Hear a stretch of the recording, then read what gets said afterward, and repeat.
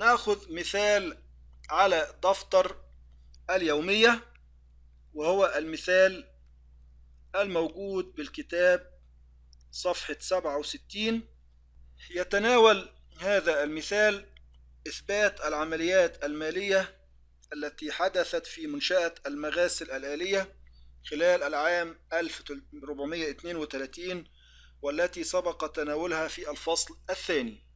نبدأ بالعملية الأولى. في واحد واحد خصص إبراهيم مبلغا قدره 800 ألف ريال من ماله الخاص لمزاولة نشاطه وقام بفتح حساب جاري بالبنك باسم المنشأة وأودع فيه المبلغ كاملا والمطلوب تحليل العملية إلى طرفيها المدين والدائن ثم إثباتها في دفتر اليومي. نلاحظ هنا أن صاحب المنشأة وهو إبراهيم قد قدم إلى المنشأة المبلغ الذي تبدأ به نشاطها وهو الذي يمثل رأس المال. إبراهيم اللي هو المالك قدم إلى المنشأة مبلغ بيسمى برأس المال. التحليل يكون من وجهة نظر المنشأة وليس من وجهة نظر مالك المنشأة. فهنا المنشأة حصلت على مبلغ رأس المال تم إيداعه في البنك. والبنك هذا يمثل استخدام للأموال لدى المنشأة واستخدامات الأموال قلنا عليها أنها أصول. في نفس الوقت حصلت المنشأة على رأس المال الذي يمثل حقوق الملكية. نلاحظ أن البنك حدثت به زيادة وكذلك رأس المال حدث به زيادة. إذا إذا قمنا بتحليل العملية سنجد أن بها طرفين أصل حدثت به زيادة وحق ملكية أيضا حدث به زيادة. إذا لدينا في الجانب الأول زيادة في البنك بمقدار 800 ألف ثم نسأل أنفسنا البنك هذا يمثل أصل والأصل طبيعته أنه مدين نتذكر القاعدة وعند زيادة الحساب أو البند يتم الزيادة في نفس الجانب. إذا يكون الطرف المدين هو حساب البنك. بذلك نكون حددنا الطرف المدين. ننظر إلى الطرف الآخر فنجد أن رأس المال حدثت به زيادة مقدارها أيضا 800 ألف ريال ورأس المال يمثل حق ملكية وحقوق الملكية ذات طبيعة دائنة وعند زيادتها تكون في نفس الجانب أيضا دائنة. إذا الطرف الدائن هو حساب رأس المال. بمنتهى البساطة نأخذ الطرفين ونسجلهم في دفتر اليومية وهو المطلوب الثاني إثبات العملية في دفتر اليومية.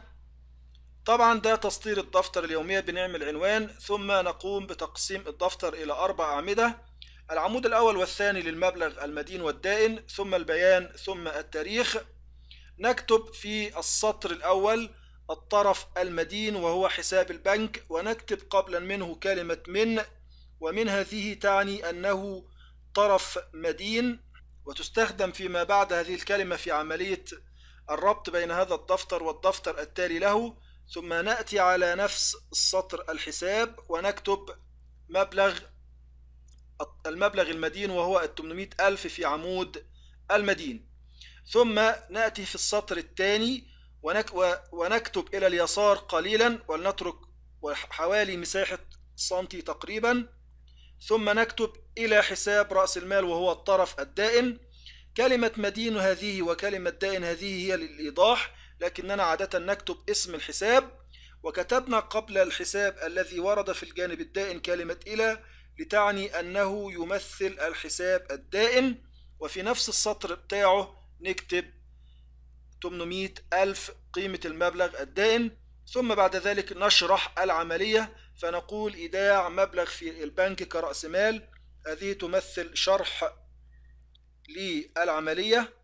ثم لدينا بعد ذلك التاريخ وهو تاريخ حدوث العملية يوم واحد واحد. هذه ال أو الذي يظهر أمامنا الآن في دفتر اليومية. ثم نأخذ خط لنفصل العملية عن العملية السابقة. كل الذي يظهر أمامنا الآن كل هذا يمثل ما يسمى بقيد في دفتر اليومية نختصره إلى قيد يومية.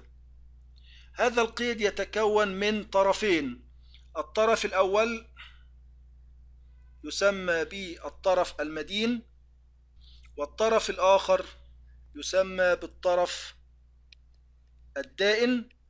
إذا كل قيد يومية يكون له أيضا إيه؟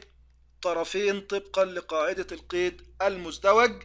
هنا المبلغ هنا التاريخ وهنا البيان وشرح القيد.